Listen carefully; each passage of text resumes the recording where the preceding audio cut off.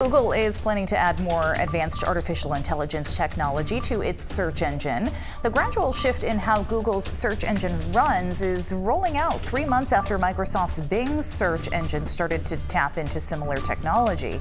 Google will begin its AI transition in search cautiously, starting with a waitlist available only to the U.S. to people who want to test the new approach. And that is your evening rush.